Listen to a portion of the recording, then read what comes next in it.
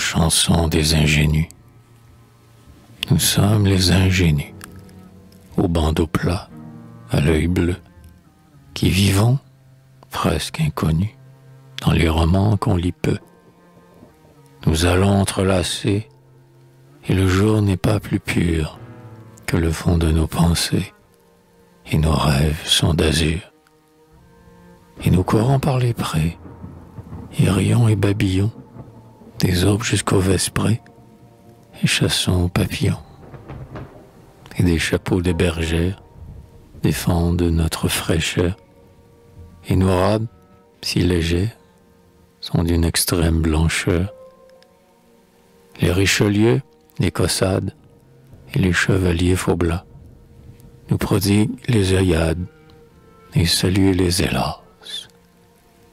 Mais en vain, et leurs mimiques se viennent casser le nez devant les plis ironiques de nos jupons détournés. Et notre candeur se raille des imaginations, de ces raseurs de murailles, bien que parfois nous sentions battre nos cœurs sous nos mantes à des pensées clandestins, en nous sachant les amantes, futures des libertins.